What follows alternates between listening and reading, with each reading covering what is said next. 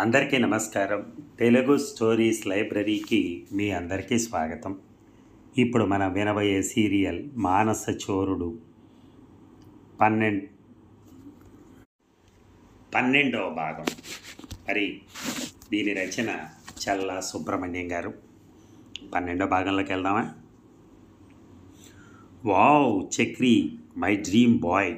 ఎక్సైటింగ్గా లేచి నిలబడి అంది మాలిని.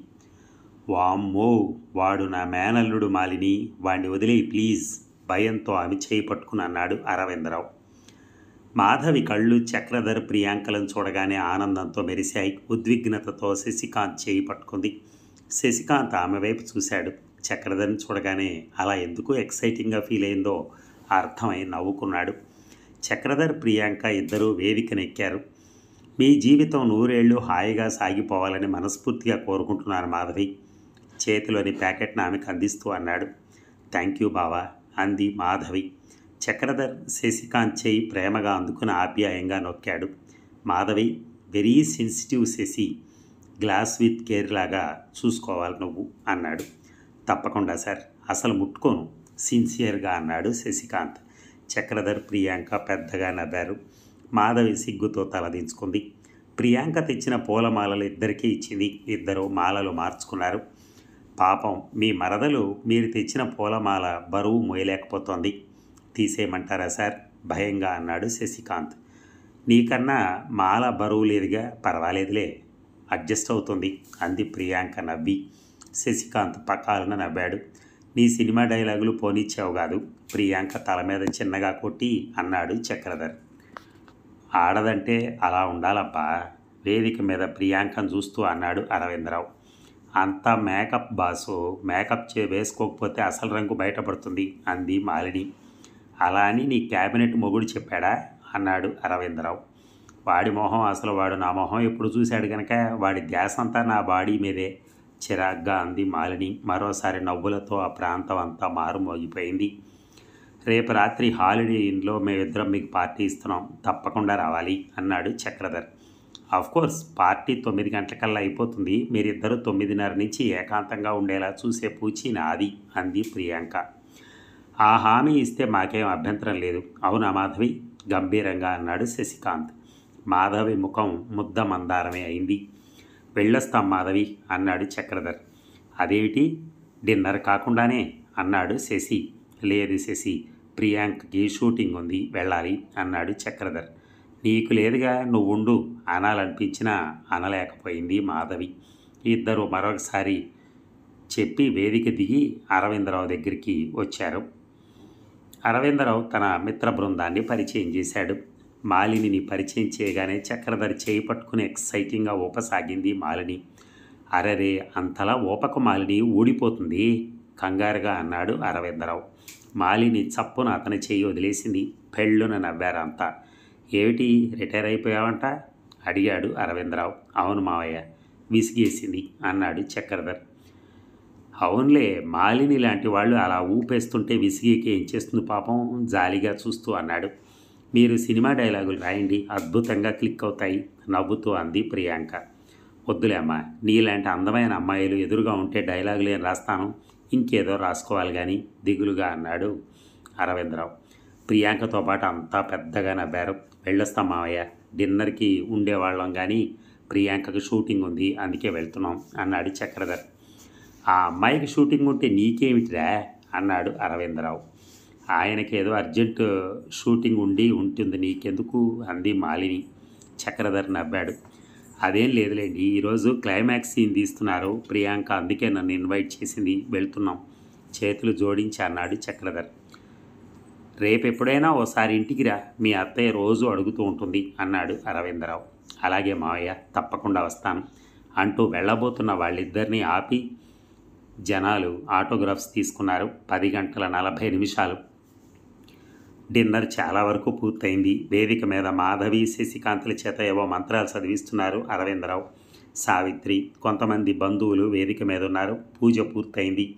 అరవిందరావు జేబులోంచి తాళాలు తీసి శశికాంత్కి ఇస్తూ తీసుకో యంగ్ మ్యాన్ మీ దంపతులకు ఈ అంకులు ఇచ్చే కానుక అన్నాడు. శశికాంత్ అందుకుని చూశాడు. మారుతి వన్ థౌజండ్ కారు తాళాలవి అరే ఇప్పుడు ఇదంతా ఎందుకండి? నాకు కారు ఉంది కదా అన్నాడు శశికాంత్. తీసుకోవాలుడు ఏదో నా తృప్తి కోసం కాదనకు ప్లీజ్ అన్నాడు. ఇలాంటి ఫార్మాలిటీస్ అంటే నాకు ఇష్టం ఉండదు uncle. Anyhow thanks thank you very much అన్నాడు శశికాంత్. తీసుకున్నందుకు నేను చెప్పాలి థ్యాంక్స్. ఇక బయలుదేరదామా? ముహూర్తం పదకొండు ఇరవై నిమిషాలకుంది అన్నాడు.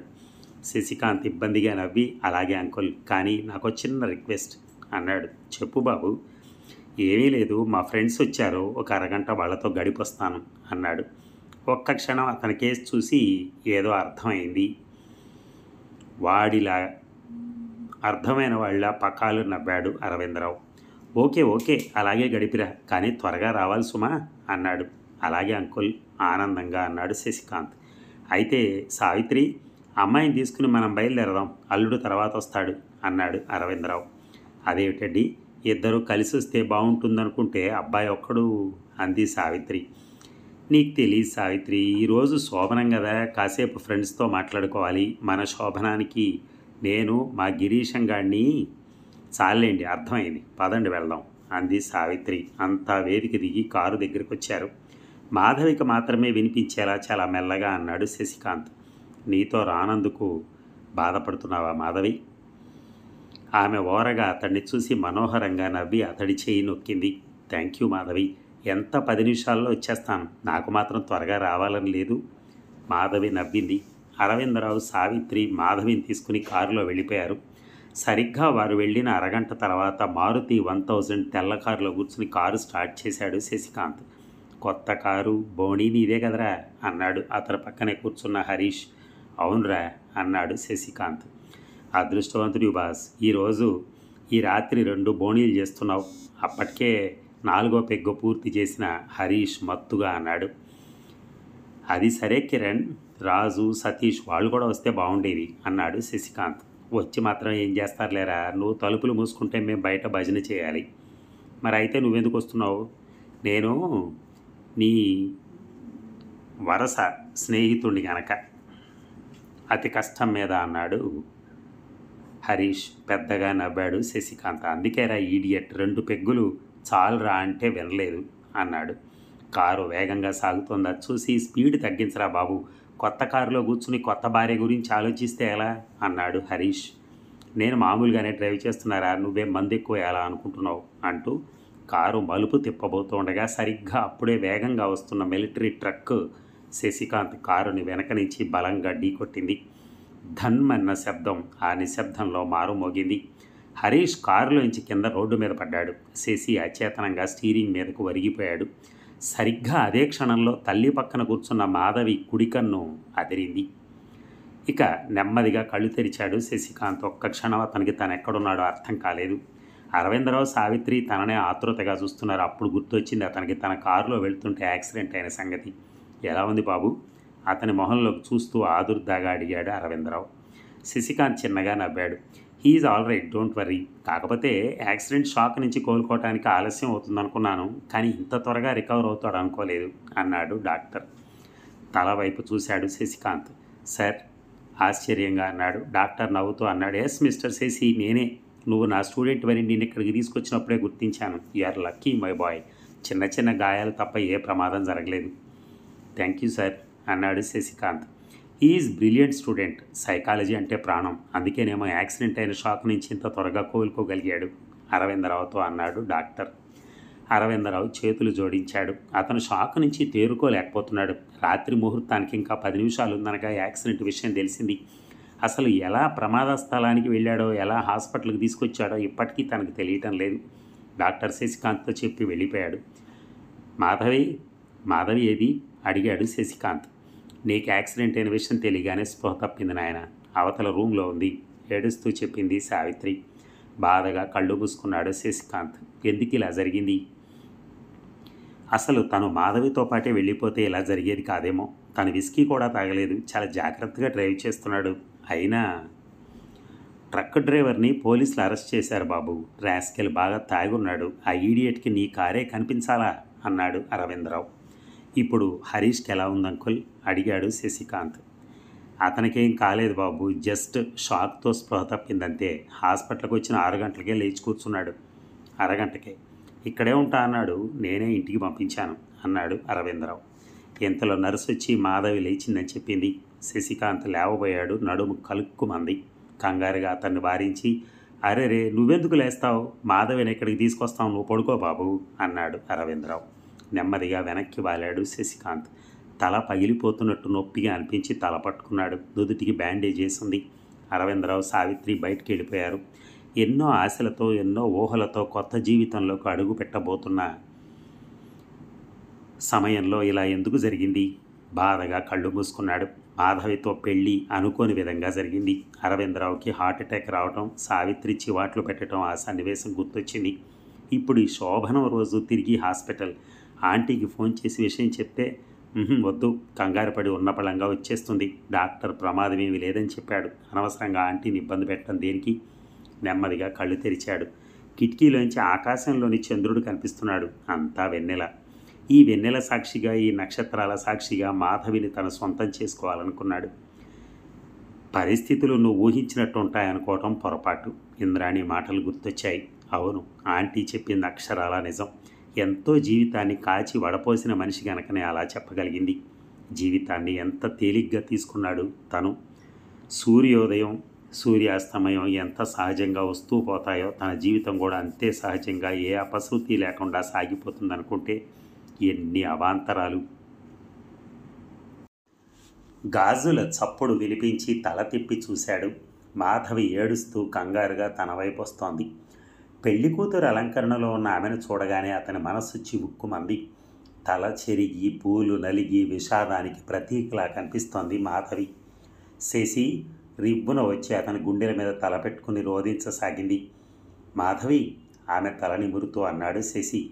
ఉద్విగ్నతతో ఆమెతో ఎన్నో చెప్పాలని ఆత్మీయతను మాటల్లో పంచుకోవాలని అనుకుంటే గుండె గొంతుకులోకి వచ్చినట్టుగా ఒక్క మాట రాలేదు. మాధవి ఏడుస్తూ నన్ను క్షమించు శశి. నా వల్లనే నీ జీవితం ఇలా అయింది. అవును నేను నష్టజాతకురాల్ని. పెళ్ళి చేసుకుని అందరి చేత నిన్ను నానా మాటలు అనిపించాను. అమెరికా వెళ్ళొచ్చాక అపార్థం చేసుకుని బాధ పెట్టాను ఇప్పుడు ఇలా యాక్సిడెంట్కి గురి చేశాను. ఇదంతా నా వల్లనే. కేవలం నా వల్లనే జరిగింది ఇదంతా. నన్ను క్షమించు అంది. శశికాంత్ నవ్వాడు. పిచ్చిదానా అలా ఎందుకు ఆలోచిస్తావు? యాక్సిడెంట్కి నీకు ఏమిటి సంబంధం? అనవసరంగా ఏవేవో ఆలోచించుకుని మనసు పాడు చేసుకోకు. ప్లీజ్ ఏడవకు అన్నాడు. వద్దు శశి నన్ను మర్చిపో. నువ్వు వేరే పెళ్ళి చేసుకో. నాతోనే ఉంటే ఇంకా నువ్వెన్నో కష్టాలు అనుభవించాలి అంది మాధవి. శశికాంత్ కోపంగా చూశాడామని నీకు యాక్సిడెంట్ అయి నేను ఇలా మాట్లాడితే నువ్వు భరించగలవా మాధవి? అన్నాడు. మాధవి మాట్లాడలేదు. ఇప్పుడు ఏమైందని అంత బాధపడుతున్నావు? అసలు నిన్ను చేసుకున్నందువల్లే నేను బతికి బయటపడ్డానేమో? నీ మాంగల్యం నన్ను రక్షించిందేమో? ఎలా చెప్పగలం? ఇంకోసారి అలా మాట్లాడకు నేను భరించలేను అన్నాడు. మాధవి అతని చేయి పట్టుకుంది. సారీ శశి అంది. శశికాంత్ నవ్వుతూ ఆమె చెక్కిలి నిమిరి రెండు రోజులు రెస్ట్ తీసుకుంటే వెళ్ళిపోవచ్చు అన్నాడు డాక్టర్. ఈ రాత్రి జరగాల్సింది రెండు రోజుల తర్వాత జరుగుతుంది అంతే కదా? రెండు రోజులు ఓపిక పట్టలేవా? అన్నాడు. ఆమె సీరియస్గా చూసింది. అలా చూడకు. ఆ గెటప్కి ఆ చూపుకి బొత్తిగా సంబంధం లేకుండా ఉంది. భయంగా అన్నాడు. మాధవి నవ్వింది. ఇప్పుడు ఎలా ఉంది? అతని జుట్టులో వేళ్ళు జునిపి అడిగింది. నీ చేతి స్పర్శతో హాయిగా ఉంది. నిజం అన్నాడు తన్మయంగా కళ్ళు మూసుకుంటూ. ఆమె నెమ్మదిగా అతని మీదకు ఒరిగి మృదువుగా అతని పెదవులు ముద్దాడింది. థ్యాంక్స్ రెండు రోజులు కాదు. ఇప్పుడే లేచి బ్రేక్ డ్యాన్స్ చేసేమన్నా చేయగలను. అంత శక్తి వచ్చింది అన్నాడు శశికాంత్. అంత పని చేయటం నిన్ను చూస్తే డాక్టర్కి హార్ట్ బ్రేక్ అవుతుంది ఆ పని మాత్రం చేయకు అంది కంగారుగా. హాయిగా నవ్వాడు శశికాంత్. తలుపు చప్పుడైంది మాధవి చప్పున బెడ్ దిగి కుర్చీలో కూర్చుంది. అరవిందరావు సావిత్రి వచ్చారు. ఎలా ఉంది బాబు? అడిగాడు అరవిందరావు. ఇప్పుడే మాధవి మందు ఇచ్చింది అంకోల్ చాలా హాయిగా ఉంది అన్నాడు సీరియస్గా. మందా? ఏం మందమ్మా? డాక్టర్ గారు ఇమ్మన్నారా? అని అడిగారు. మాధవి కంగారుగా శశికాంతం చూసింది. అవును అంకుల్ కనీసం పది నిమిషాలకు ఒకసారి అయినా మందిస్తే ఇంకా త్వరగా కోలుకుంటారట అన్నాడు ఓరగా మాధవిని చూస్తూ. మాధవి ముఖం ఎర్రబడింది. అలాగా? అయితే బేబీ నువ్వు వెళ్ళి రెస్ట్ తీసుకో. అబ్బాయికి ఆ మందేదో ఇక్కడే ఉండి నేను ఇస్తాను అన్నాడు అరవిందరావు. శశికాంత్ మోహన్ చూసిన మాధవి నవ్వుకి నిగ్రహించుకోలేక పక్కన నవ్వింది. ఇక శశి ఉలిక్కిపడి కళ్ళు తెరిచాడు శశికాంత్. ఎదురుగా మాధవి నిల్చొనుంది. ఏమిటి? నిద్రపోతున్నావా? లేదు ఆలోచిస్తున్నాను అన్నాడు. ఏమిటి ఆలోచిస్తున్నావు? అతని పెదవుల మీద చూపుడు వేలుతో రాస్తూ అడిగింది. అతను ఆమె చేతిని తప్పించి ఏమీ లేదు నిర్లిప్తంగా అన్నాడు. ఆమె రవ్వంత ఆశ్చర్యంగా చూసి ఎందుకలా ఉన్నావు? అంది. ఎలా ఉన్నాను? కిటికీలోంచి తదేకంగా బయటికి చూస్తూ అన్నాడు శశికాంత్. చాలా డల్గా ఉన్నావు. ఏమీ లేదు బాగానే ఉన్నాను అన్నాడు. నేను రావటం ఆలస్యమైనందుకు కోపం వచ్చింది కదూ? ఏం చేయను వంట అయ్యేసరికి ఆలస్యం అయిపోయింది. లే భోంచెద్దు గాని అతడి చేయి పట్టుకుని అంది. అతను ఆమె వైపు నిశ్చితంగా చూశాడు. ఏమిటలా చూస్తున్నావు? నవ్వుతూ అడిగింది. అతను చిన్నగా నవ్వాడు. లేసేసి నాకు ఆకలిస్తోంది తినేద్దాంరా నువ్వు తినే మాధవి నాకు ఆకలి లేదు తర్వాత తింటాను అన్నాడు శశికాంత్. అయితే నేను తర్వాతే తింటాను అంది మాధవి. అతను మాట్లాడలేదు. అలాగే కిటికీలోంచి ఆకాశంలోకి తదేకంగా చూస్తున్నాడు. ఈరోజు డిశ్చార్జ్ చేస్తారట కదా? అడిగింది. అవును డాక్టర్ చెప్పాడు అన్నాడు. ఆమె ఒక్కసారి విస్మయంగా చూసింది అతని వైపు. ప్రతిరోజు ఈ రోజు కోసం క్షణాలు లెక్కిస్తూ తనతో ఎన్నో ఊసులు చెప్పే అతను తీరా డిశ్చార్జి చేసే రోజు ఎందుకు ఇలా ముభావంగా ఉన్నాడు? అతనికి ఏమైంది? మరి ఈ భాగం ముగిద్దామా? మళ్ళీ రేపు కలుద్దాం. Thank you.